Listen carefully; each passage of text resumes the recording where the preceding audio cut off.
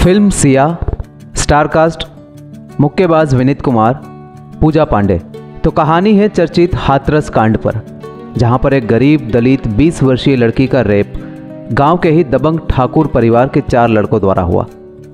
Rape इतना घिनौना होता है कि लड़की को नौ दिन बाद होश आता है और पुलिस को दिए बयान के बाद दर्द से जूझते हुए उसकी मृत्यु।